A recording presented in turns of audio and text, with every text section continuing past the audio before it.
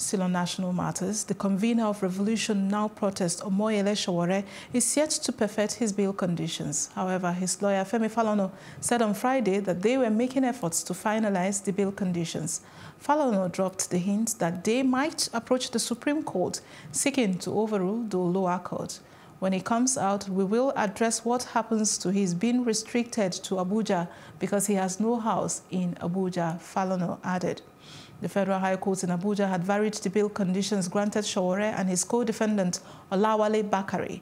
Justice Ijeoma Ojukwu granted the order in a ruling on the application for bail variation by the duo charged with treasonable felony, among others. She waived the earlier requirements that one of Sowore's sureties should deposit 50 million naira as security. She also reduced the